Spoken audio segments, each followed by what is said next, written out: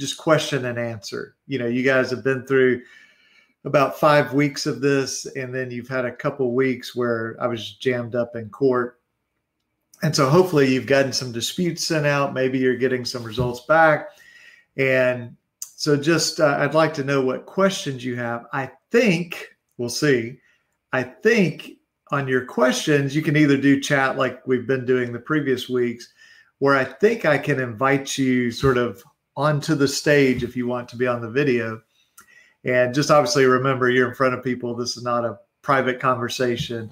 And so, you know, I wouldn't give any, uh, you know, specific details. I mean, you can say, I'm dealing with a credit card or I'm dealing with a credit bureau. You don't have to say it's Capital One and it's Equifax.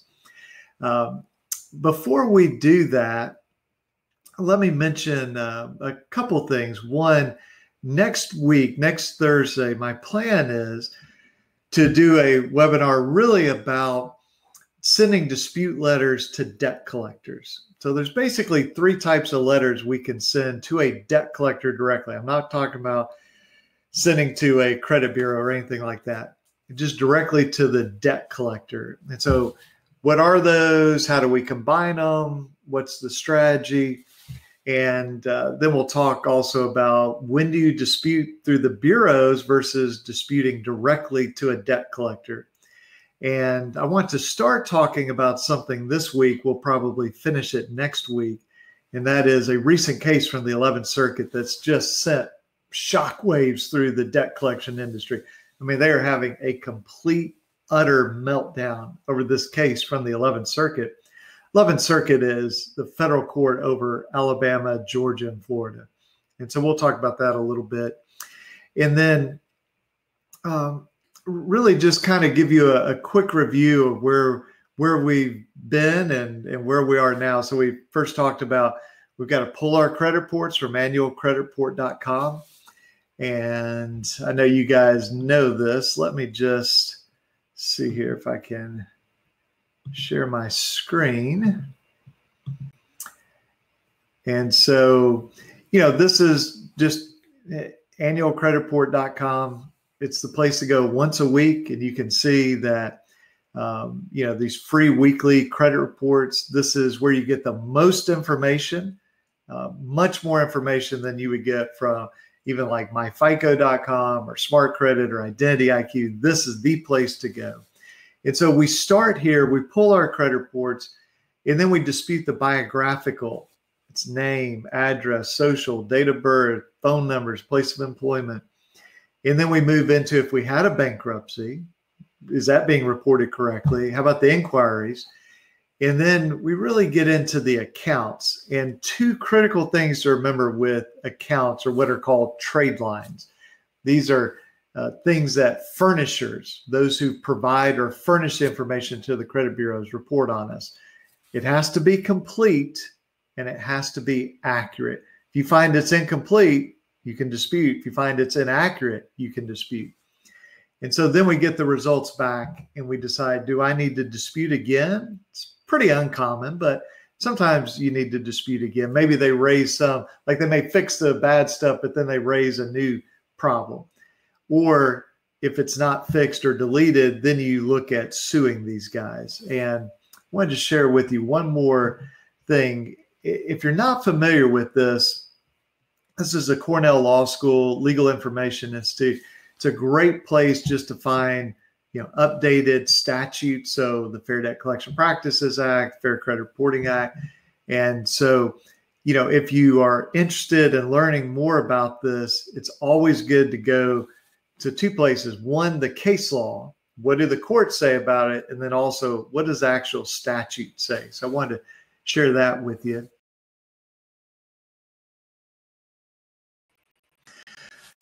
Okay, guys, uh, this is apparently my fun time for technology here as my internet went out for some reason. So uh, hopefully you can hear me now. And um, let me just, uh, I'll go through a few of these comments and then um, we'll get into some questions about the actual credit reporting. Let's see. Uh, Tamala says, I'm a data person. Did you know that the account section is only for credit grantors? So is the other section. I, I'm not exactly sure what you mean by that. The the section that has your accounts or what are called trade lines, uh, those are for users of credit report. So anybody that looks at a credit report, and tons of people look at your credit report every month. And it's also on what is technically called your consumer disclosure, which is when you pull your own credit report. And uh, so that has to be correct or you're allowed to dispute it. And then there's follow up question why does Midland go on the other section of a report, not collections? That's a bit random. Equifax is sort of all jumbled up. Uh, you just you do have to look through every section. TransUnion's easy. All the negative accounts are up top and they're in alphabetical order. And then the collection accounts kind of start that over in alphabetical order. Let's see. Jim says, I got an unsigned collection letter from a debt buyer in California. Uh, research signature, see if you had a bar number, nothing found. So the, the bar number would be if this person's claiming to be a lawyer. And now just a debt buyer, you know, they don't have to have a, a bar number. See, Jeff said lost audio and video. Yeah, I don't know why that happened, Jeff. Um, but hopefully we're we're back uh, on here. Let's see. Jim said so. The collection letter I mentioned is an offer. My wife opened it by mistake. Can I return this offer in its original envelope since I don't want to do business with it? It doesn't really matter if you return it or not. You know, they can if they have the right to collect, they can collect. They send you a letter whether you open it, don't open it. You know, the the offer is to settle they were saying pay us you know 500 bucks or 5000 bucks and we'll settle if you don't accept that offer then there's no settlement let's see uh, yeah so ralph says student loan servicer required to report the account holder they refuse to give me the name of the holder so I, I would certainly ask them for that and uh, if it went into default before the servicer got it, then that servicer is almost certainly a debt collector. And so you can request who actually owns this uh, or who is the holder of the note. So let me just talk about that for a second because there's a lot of confusion about will somebody own something? Do they hold something? Uh, I was trying to see if I had a check around here. So just imagine that that you wrote me a check, okay? It's payable to John Watts, you know, hundred dollars. Well, if I take that check into the bank and I endorse it, then that's good. Now, what if I take my phone and take a picture of that check and I take that picture in to the bank? Well, they're going to go, no, no, no, no, that's no good. You have to have the actual instrument, so sometimes called a negotiable instrument, actual check. That's what has power, not a photocopy of it, not a scan copy of it it has to be the actual check. Now, obviously, if you're doing like an electronic deposit, then you agree that this is valid to, to do it electronically. So, when we're talking about promissory notes, so like a car loan, student loan, mortgage, all those types of things, there is an original note. And if somebody is suing you on that, then typically they need to physically have possession of that note. Okay. Now, I just uh, filed an answer and a counterclaim in a case where they're suing us for a second mortgage, and they said, "Oh, we lost the note." So here's a lost note affidavit that says, "Hey, we we can't find the note, but we promise you we're the ones you should pay." Well, there are lots of problems with that. So with the the student loan, somebody supposedly holds that promissory note. Okay, when I say hold, I mean they physically have possession of it. And that's a reasonable question to ask, particularly if you've got different companies claiming to, you know, be entitled to the money. It just makes sense to ask. If you can't get it, then that is something you can use with the credit bureaus to say, hey, I've requested this. They won't give it to me. I think this is an unreliable company. Get it off the law's not real good on that, just to be blunt with you, but it does give you a shot there. Let's see. All right, uh, Tamla's talking about Metro 2 standard. Uh, yeah, so we'll we, we, if you want to reach out to me, we'll we'll talk online. There's um, and let me just for those who don't know this, Metro 2 is the industry standard. It's put out by an organization called CDIA. It's basically Equifax, Experian, TransUnion, Innovis. They sort of have created this company. And Metro 2 is not the law, it's the industry standard, okay, which can be helpful sometimes.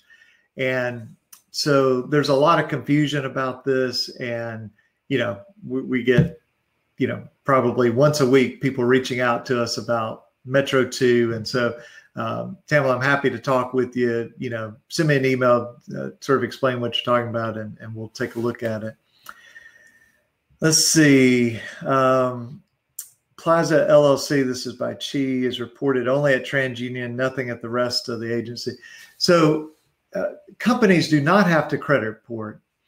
They can choose to credit report uh, to just Equifax, just Experian, just TransUnion, just Innovis, just SageStream, whoever they want, or they can do any or all the above. Okay. So the fact that it's only on one bureau doesn't mean it's wrong. It just means you don't have to worry about it on the others. Now, to some extent, we like it being on multiple bureaus because then we compare. Say, all right, well, TransUnion says I was late in February 2018, but Experian says that I was current. And the other bureau says I was 90 days late. Like, which one is it? So it can give us an advantage to having multiple ones. But if it's just on one, then you look at it and you see what's missing, what looks inaccurate, and what's inconsistent. We talked about that in the fifth session of, of our webinar series. You know, you might find, uh, I'll give you just an example, uh, and I see this pretty frequently with Equifax. They will report what's called the data first delinquency. Equifax or Experian and TransUnion should report this. They don't. Okay. But that's the date that you first defaulted and you never recovered from it.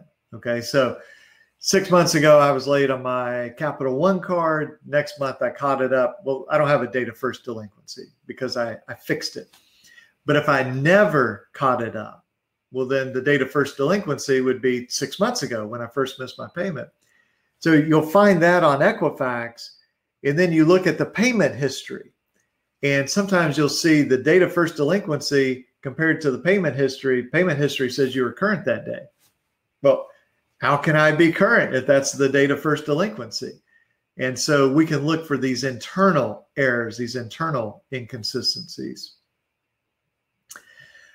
Let's see. Uh, Jim asked, our webinars archive for later reference? Yes. So uh, just email me, Jim. You can just reply back to any of these emails coming to you, and I'll give you the links for all the replays.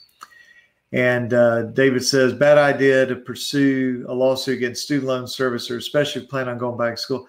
You know, I haven't noticed any problem as far as going back to school. I mean, you don't want to sue anybody unless you have a valid basis. Um, but if you have a good claim against them, then you know I, I haven't seen anybody have negative effects from that. Uh, let's see, Marie. When you dispute an account with the original creditor, are they required to report the account is disputed to the credit bureau? They are with with this sort of um, uh, disclaimer, I guess I would say. It has to be what's known as a bona fide or a meritorious dispute.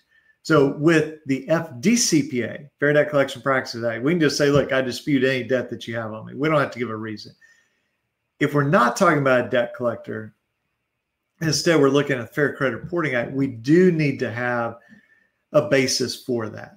Okay. So hey, here's the basis of my dispute. You're missing information. There's contradictory information. It's just flat out wrong. Here's my proof. You know, you say I was late uh, December 2017. Here's my bank statement showing I made the payment. It was accepted. It was never returned. You know, wh- whatever the proof is. And then if they don't fix it, at a minimum, they have to mark it as being disputed. Now we can get into the details, and this this does get into the weeds of Metro 2. Exactly how do they market? There are different codes. There's a XC code and an XH code, and all these different codes. Sometimes you'll see uh, dispute resolved, consumer disagrees, or uh, investigation complete, uh, or just consumer disputes, all different codes, and there's kind of different approaches with that. But in general, they have to mark it as disputed. If they don't, you can file suit on that. Uh, you know, you still need to dispute it through the bureaus first, but you've got to be able to show the court that you, again, have a bona fide, a legitimate dispute, a meritorious dispute, or else they won't accept that. So, um, tell me what you guys have run into as far as kind of following our plan. You know pull your credit reports. Have you looked at your biographical information? Have you found errors on there? Remember we have sort of a three bucket system right? The first bucket is this is correct now. My name address social date of birth phone number place of employment. Second bucket is it's wrong but it used to be correct. You know my name changed after a marriage or 10 years ago i lived at 123 main street or you know 15 years ago i worked at mcdonald's or whatever it is. The third bucket is this was never correct. My name was never watts john okay uh, my phone number never had a you know oregon area code to it okay? I never worked at ups whatever the situation is. And so that will generate for most people quite a few items of dispute. You know mean, it, our typical client, we probably have 15 to 20 incorrect personal items on there. Well, again, you load up that letter, and if they do the right thing, the bureaus they get rid of all that stuff. Perfect. Now it's very clean, you know, and nobody's pulling your report, seeing a phone number from 20 years ago and calling that number. But if they don't fix it, now you have violations. And if you combine that with the accounts that you find errors with. Maybe there's five negative accounts and you find three errors with each account. Well, that's 15 sort of disputes, if you will. And let's say they only correct half of those. Well, now you have all that personal information and you have the accounts that they didn't fix. And the, the bureaus love to say, well, it's just an accident. We, we meant to fix that one, but that's the one thing we missed it's hard to say when there's like a dozen of those. Okay. It's like that was a mistake and that was a mistake. That was a mistake. Oh, that was a mistake. yeah. It's not a very good argument for them. So, you know, I'm just curious have you guys sent out your letters? Are you getting results back? What's going on? Let's see. Jeff said, Are collection agencies required to notate an account as being medical collection when they credit report it and we dispute it? Yeah. So typically, Jeff, they would. Um, if the name will give something away, like let's say it's, um, you know, XYZ collector, but the, the original creditor is Smith Cancer Foundation. Well, they'll tend to, to block that, not on your consumer disclosure when you pull your own report, but when anybody else pulls it, they'll sort of block that out and just say medical. Okay so that nobody can understand, you know, hey, this was a, a cancer, this was a, you know, organ transplant or orthopedic or whatever it might be. So uh, the way you've described it, Jeff, is generally the way that they should do it. Let's see, David says, my wife has disputed her six student loans twice now, and they say, okay, up until they report history nine days late, then 120 days late. Balance history shows even more errors within the same time period. So uh, student loans are a little strange, uh, particularly federal student loans. Sometimes they do report that way. They they won't do the negative reporting until 90 days. Okay. Now, I still think it's a valid basis to dispute because it does say okay, okay, and then 90 days late. It's like, how did I get 90 days late when I was okay? Let them come in and try to explain that. Okay. But on the balance history, like I just did sent out some disputes the past couple days where, you know, we have a balance of, you know, nine thousand dollars and then eighty seven hundred and it says zero payment, and then eighty four hundred zero payment, eighty three hundred zero payment. It's like, well, what's happening here? Okay, so definitely look at that history. Look at the rating, you know, okay, 30, 60, 90, 120, all that type of stuff. Look at the status, and you're really just kind of zeroing in on, let's say, your TransUnion report. Let me see everything that's wrong here. Then you look at your Experian, then you look at your Equifax. I find it easier if you first sort of copy and paste everything to a spreadsheet, and then you can really see kind of the big picture of what's wrong, and then just identify every error that you see on there. That's my suggestion. Let's see. Uh, David says two times disputing, finally put on all inquiries as well. Some personal information changed, have incorrect items still. You know, David, if you want to uh, reach out to me, if you want to send me your dispute letter and then the results that came back, and I'll be glad to, to look at those for you. Let's see. Marche, hopefully I'm saying that correctly.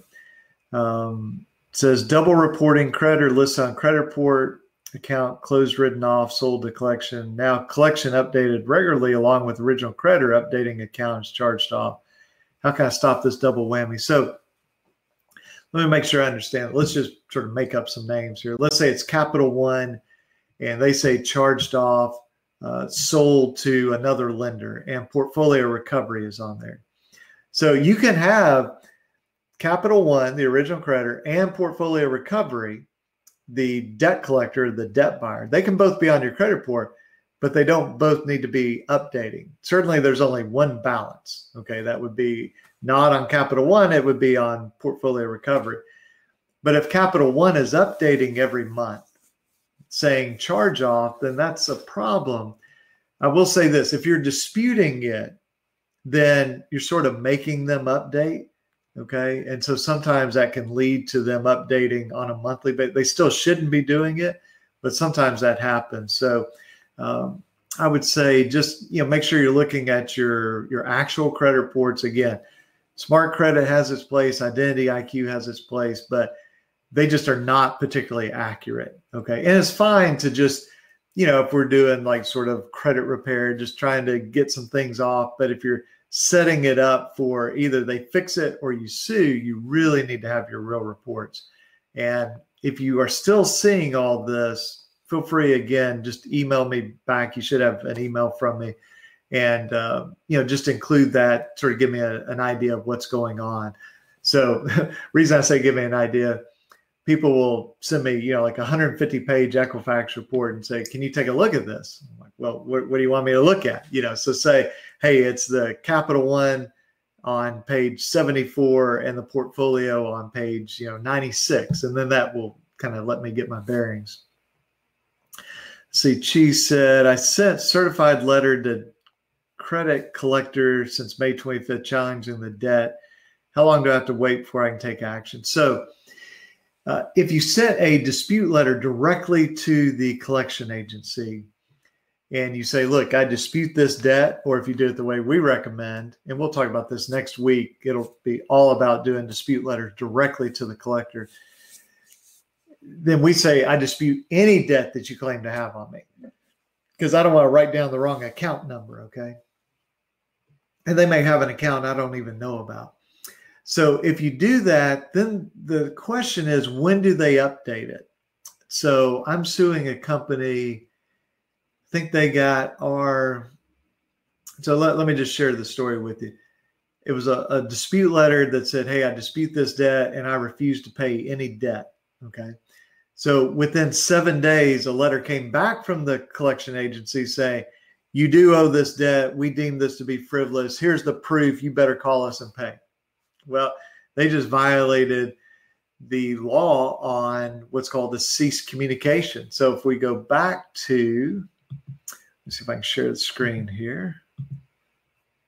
If we go back to the 1692C, then we drop down to C. So it's CC, okay? Ceasing communication.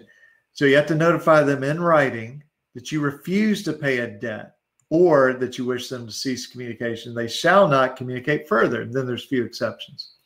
So in that particular case, uh, they they violated that part of the law, and then they updated the credit report, and they marked it as uh, or did not mark it as disputed. So to answer your question, how long do you have to wait? You really need to see. Okay, they they got it. I'm assuming we say May 25th. That's when they received it, or whenever they received it. You know, by certified mail, you can tell when they received it then do they update after that and do they mark it? Typically, this is in the remarks or the comments. It'll say consumer disputes or disputed by consumer. So I wouldn't sue if they get it on one day and then the next day they update. But if it's enough period of time, then you know you should be good to go to look at suing them. Doesn't mean you should sue them. You know, maybe a twenty thousand dollar collection account. Well, by suing them, they may countersue you. So there's got to be some good judgment. I don't recommend anybody do these without a lawyer. There's just it's kind of foolish to do that. First of all, if you get a lawyer who knows what he or she is doing, they're going to make it much more valuable. And our fees get paid by the bad guys. So, you know, there, there's no reason to do it on your own. Uh, but that's the answer. And again, we'll talk about that more next week. And let's see. Yeah, so Tamla is just talking about the data fields. And again, we'll we'll talk about that, um, Tamla, because again, it, it's an interesting thing about Metro Two, and um, I find that a lot of people are a little confused by. It. I'm not saying you're confused by it, but I'm saying a lot of people are confused by it. And there are a lot of people out there teaching on this and selling courses, and they literally have zero idea what they're talking about. They've never been in a lawsuit, they've never taken a deposition of somebody from the bureaus or somebody from CDIA. They've never stood in front of a federal judge talking about Metro 2. It's like they've just read a few things or they heard at a seminar. And, you know, there, there's a big difference between those things.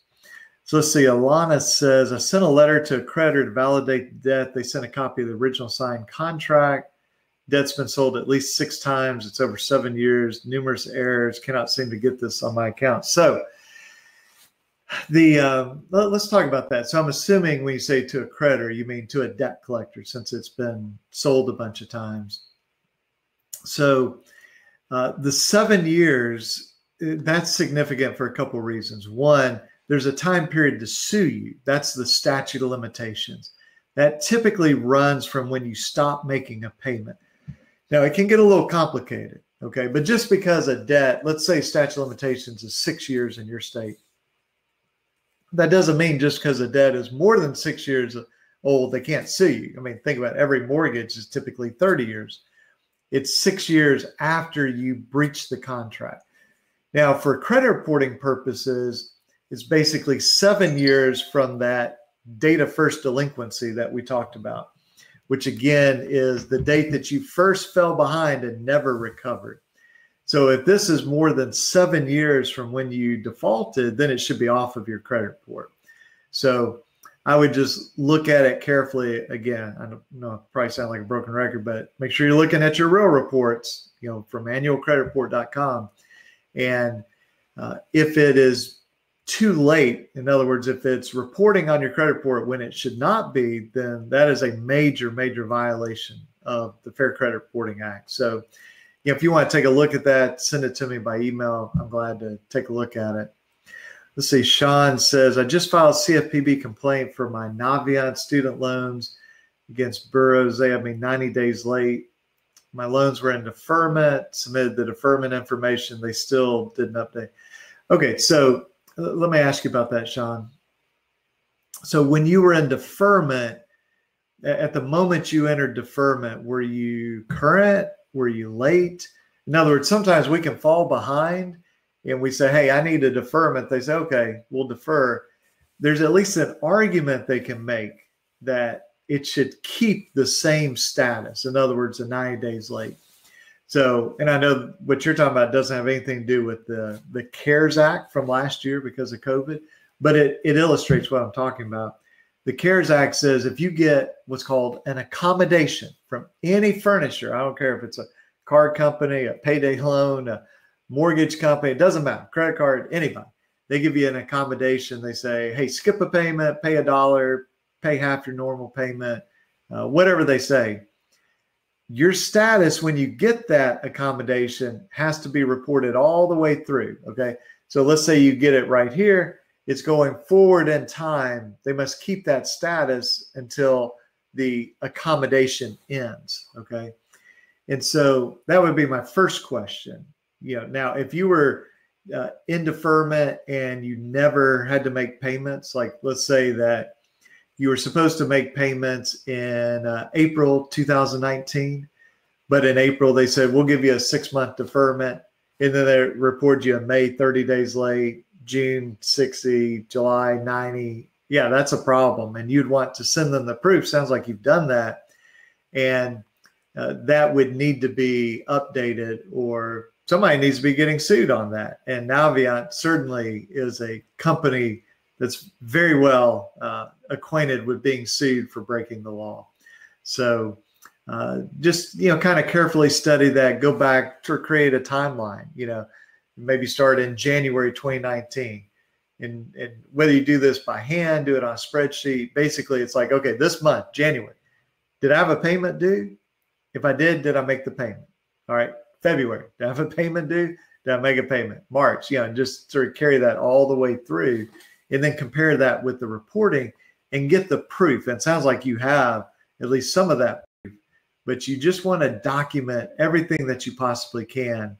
And, you know, it may be that you need to do another dispute, or maybe your one dispute was good enough, you know. Um, you know, if you have questions about that, just let me know.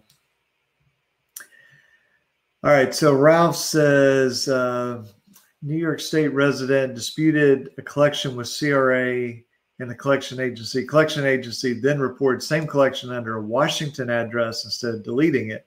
Sent follow-up disputing to the collection address to both CRA and collection agency provide proof.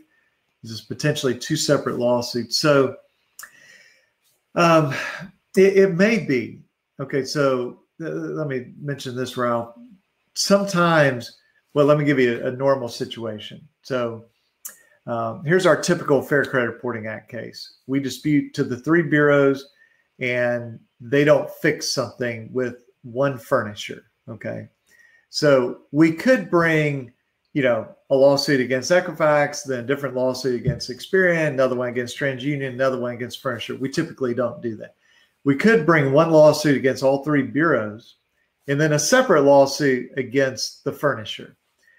Again, we typically don't do that. I typically put them all together because the credit bureaus are going to blame the furnisher, the collection agency.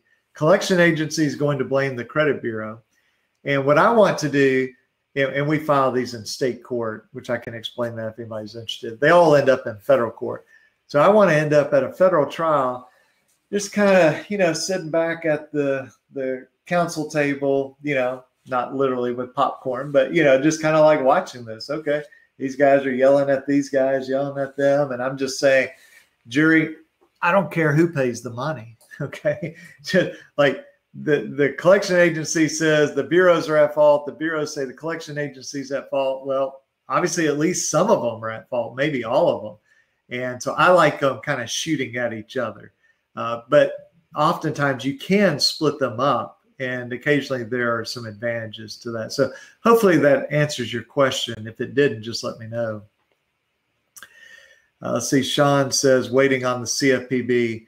Yeah, and and just a heads up, uh, I'm not a big CFPB, you know, fax a complaint in, uh, but a group I'm in on uh, Facebook mentioned some of the guys that do that a lot say that they've shut down the fax number now. I don't know if that's true. I, you know, you could still file an online complaint with CFPB, but you know, people got to where they were always faxing stuff, and they're like, "Well, I'm not going to do a dispute to TransUnion. I'll just fax it to the CFPB, and then they'll give it to TransUnion." I'm not a fan of that. I think that's dangerous to do, but um, apparently they've shut down the uh, the fax number now. Let's see. Uh, Pandora says, I've sent biographical request update letters and had TransUnion do this immediately. Equifax took some push changes after a few times. Experian just ignoring, not updating. So, uh, pretty typical. I, you know, I sue TransUnion all the time. Okay. I'm suing them, probably have like four lawsuits already lined up this month against TransUnion. Uh, but I will say this: they typically do a good job, even if you do it online. They will get rid of that out of date or incorrect information. Equifax, you know, a little bit better. Experian notorious for this, particularly addresses. What Experian will will send back to you, and Pandora, I'm I'm curious if this is exactly what you got. They'll send back a letter that says, um, "We see that you're disputing your name, your address, whatever." This has been provided to us by a furnisher, and we invite you to contact the furnisher to discuss this with them, or you can call us to discuss it. Well, first of all, it's not my job to like figure out which furnisher put which address. Okay. The uh, let me go back to our sharing the screen and just show you this. So if we go to 1681I, which I stands for investigation, that's how I think of it. So we've got reinvestigations of disputed information. It's called reinvestigation because theoretically, every credit bureau investigates the information before they ever report it. It's a little bit of a fiction. But if you look at this, it says if the completeness or accuracy of any item of information contained in a consumer's file, well, the consumer file is what they produce, even though it's not all of it, but we'll just sort of go with this for the sake of discussion. The credit report that a user gets or your consumer disclosure is your credit file. Okay. And so anything in there, you can challenge the accuracy of that.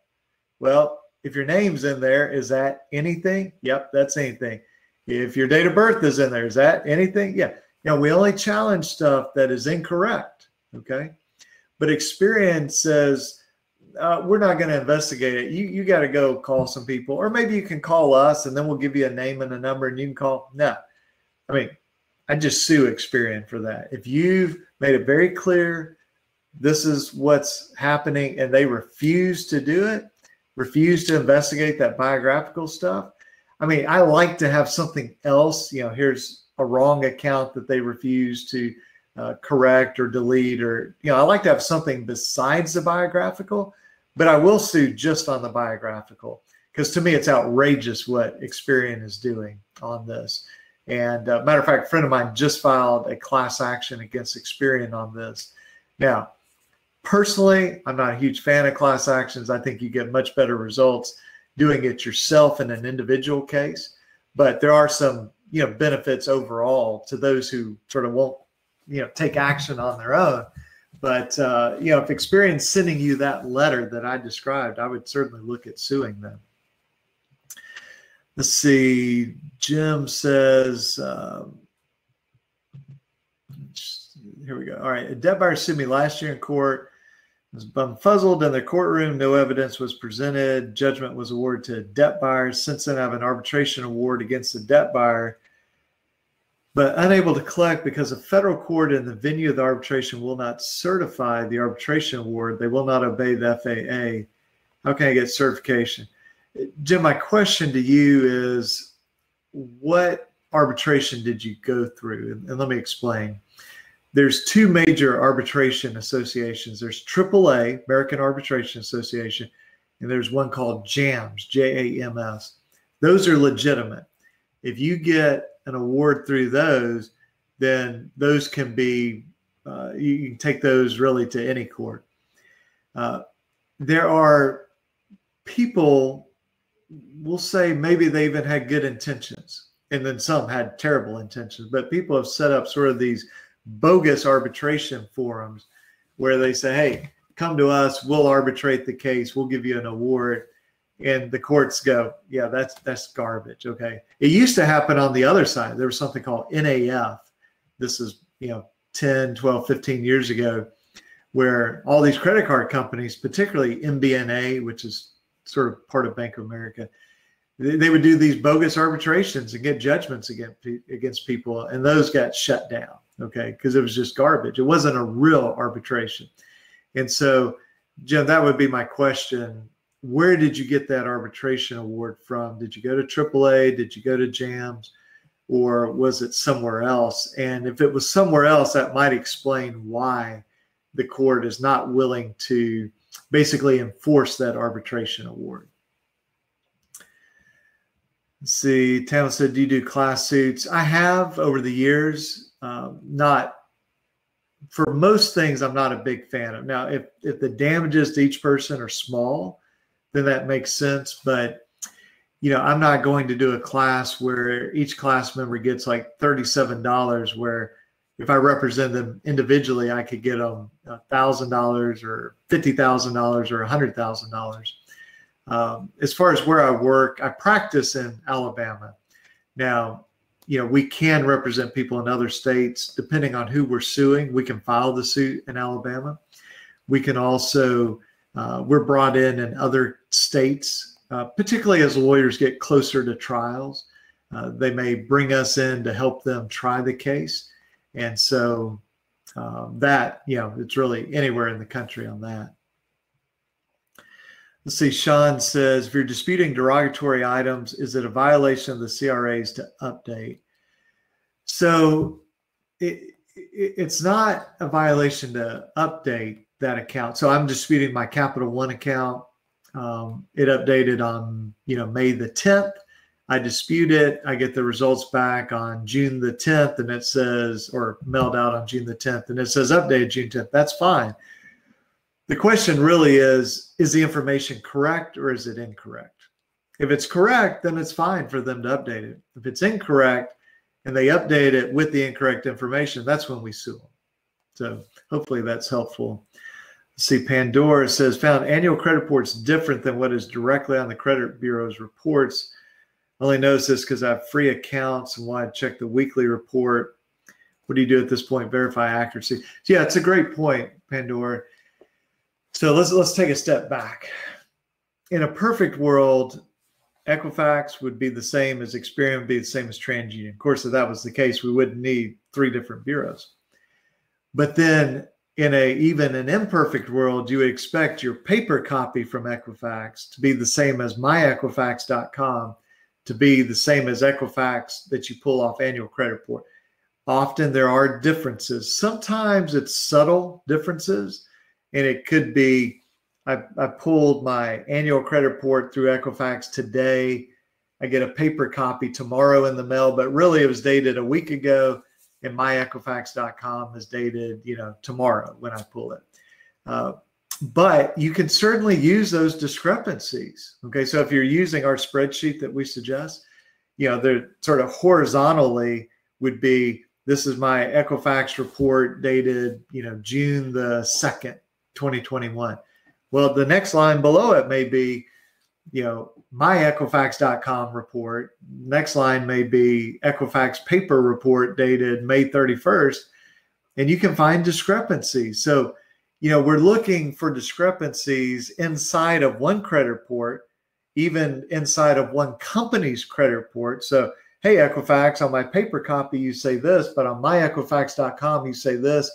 And annual credit report Equifax, you say this. Which one's true?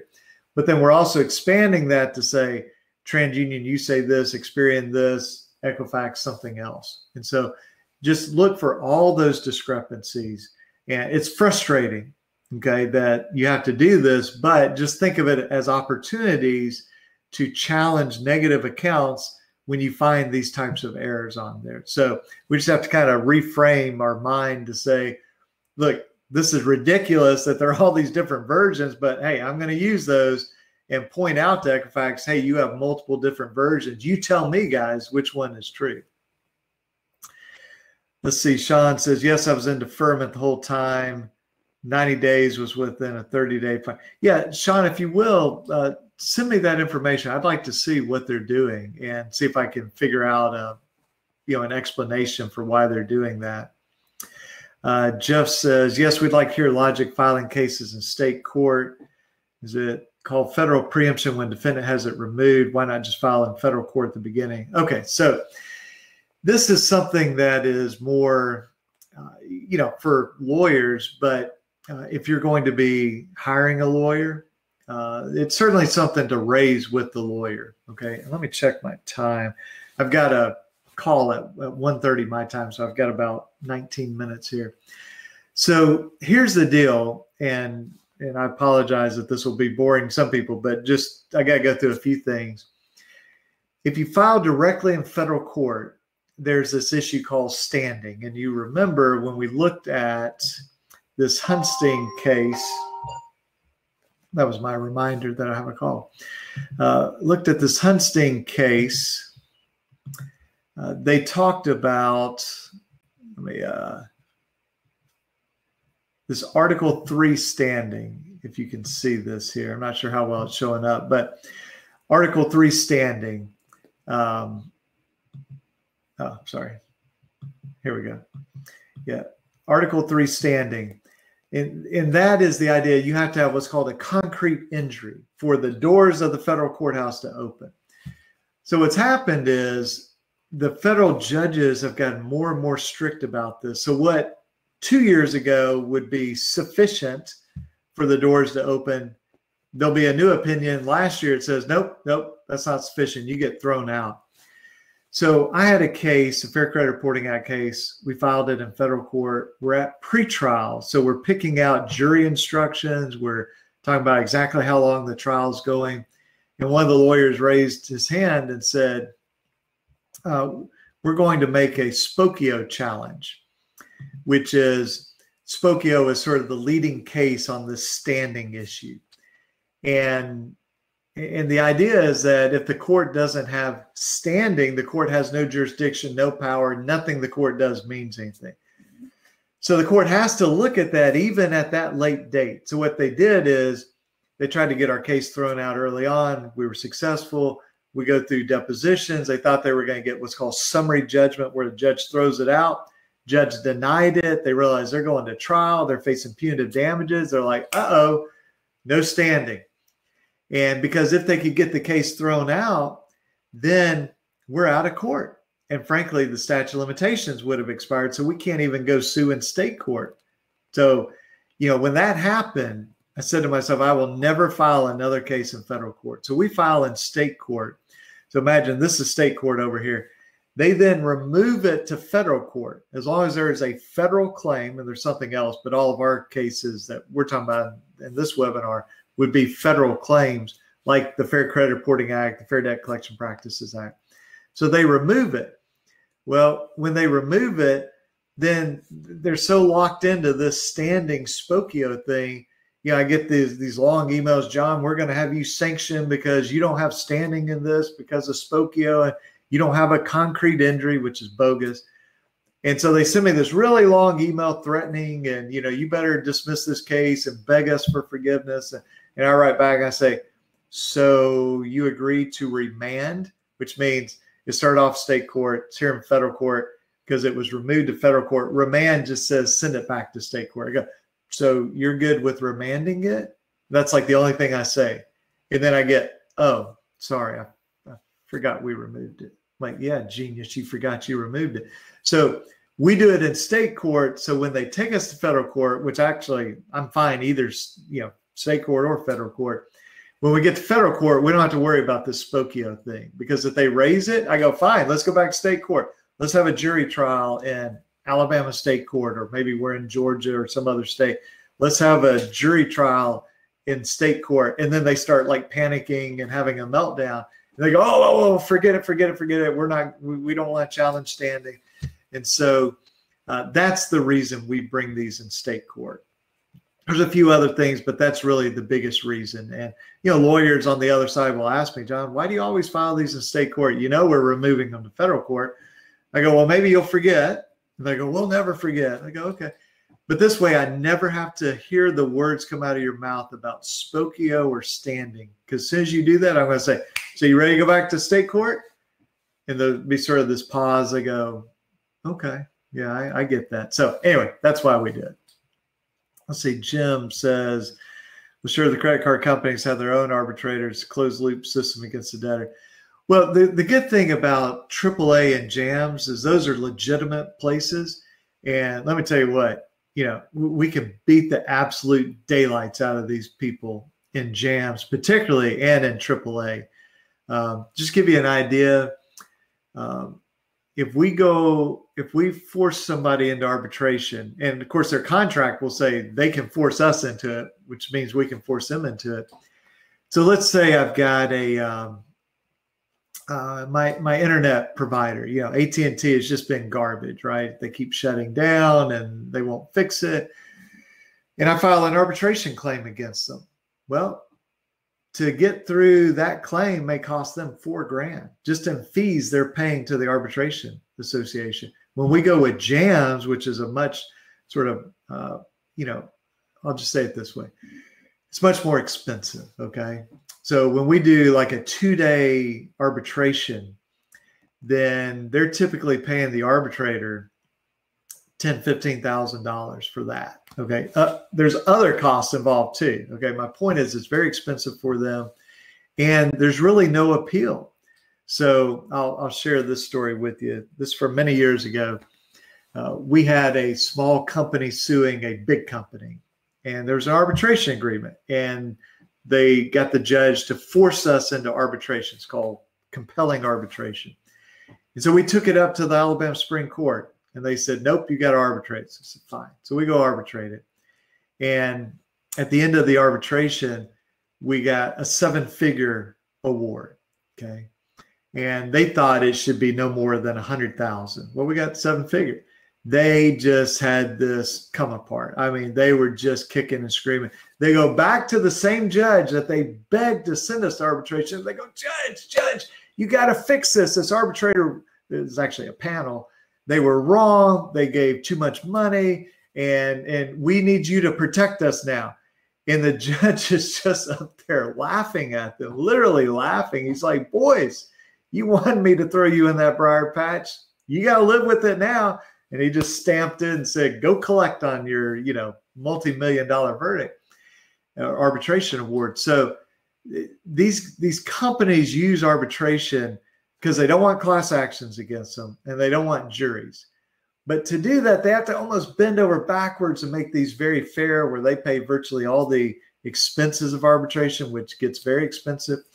And so we bring these claims, and then they start going, Well, this is unfair that we're in arbitration. I'm like, Hey, genius, you wrote the contract. You know, this is your problem. So just understand you can take them to, if you have a legitimate claim, take them to AAA, take them to JAMS, whatever the contract says. And, you know, a, lot of times you can get good results there. Let's see. Anthony says, uh, Do you have any more information about Cornell Law School about reinvestigation? Well, it's really just um, if you go to that website, it's called law.cornell.edu. Uh, it's just a good place to look up statutes and things of that nature. So uh, David said it's frustrating, but as many opportunities to get stuff right. Yeah, and I think David, you're talking about those sort of multiple versions of your credit report. And um, Pandora said, "Can you share a refuse to pay or cease communication letter template here? Having hard time verifying the debt with Calvary after request for debt validation." So here's the thing, uh, Pandora. I, I will have some stuff that I can pass out next week but I, I, just want you to understand conceptually. And, and what you're doing, I think, is really the best way. Like you go to Calvary, you say, give me validation, give me proof. Okay. So what we always ask for is copy of the contract. If this is like a credit card and Calvary typically is, we want the monthly statements from when it was last at zero to whatever the charge off amount is. Okay. So if they say, John, you owe $5,432 and you know ten cents. Okay, great. Show me the statement at zero and every statement after that, so I can see how I built up to five thousand four hundred thirty-two dollars and ten cents. Okay, and then we say, hey, if you say you purchased the debt, give me proof. Give me the purchase agreement. They never give us that stuff. So then it's natural to come back to them and say, hey guys, I, I still dispute any debt that you have on me. And because you won't give me the proof I've requested, I refuse to pay any debt to you guys. Period. Put your name, your address, last four of your social, date of birth, and you're done. So there, there's nothing really magical about it. It's just that's a logical way to do it. Because first you go and you ask for information. If they don't give it, you say, hey, because you didn't give me the information, now I'm telling you I refuse to pay. Let me tell you what often happens. They get that letter and they write you back, go, well, here it is. Well, let's go back to our uh, code section here. And again, we'll cover this in more detail uh, next week. But if we go back to 1692C, which is communication. So the cease communication Again, notice what it says. If you, well, let me get to highlight. If you refuse to pay the debt or you tell them you wish them to cease communication. Now, sometimes people say, well, I demand that you cease calling me, only write me. That's not a cease communication. Okay. You can't pick and choose. Now, if the rules change in November, we can do that, but not right now. It's either cease all communications or there is no cease communication. But refuse to pay and cease communications, those are one and the same. Okay. It's like saying six or one half dozen. It literally, it's the same thing. The debt collector, if you do that, debt collector shall not communicate further except to tell you, hey, we're not doing anything, or we may invoke some remedies, like we may sue you if they do that, or to notify that they intend to invoke a specific remedy, like you know, we we could uh, credit report, or we could sue you. We are going to sue you. They can tell you that. Other than that, they can't talk to you. So if they send you proof and say now you can pay, they just violated that. So Pandora, hopefully that is helpful to you. And again, if you can come back next week, um, you know, I'll I'll put the um, I'll send out an email to everybody. Hey, here's the link to sign up for it, and then uh, it'll also be on our YouTube channel, and, and we'll talk about it in more detail. But it, it's really just a logical thing to say. I asked you for proof, you refused to give it to me, so I refuse to pay you. Thank you, and now we're done. Okay. Now you can start off that way. Okay, so you don't have to kind of do the two-step approach.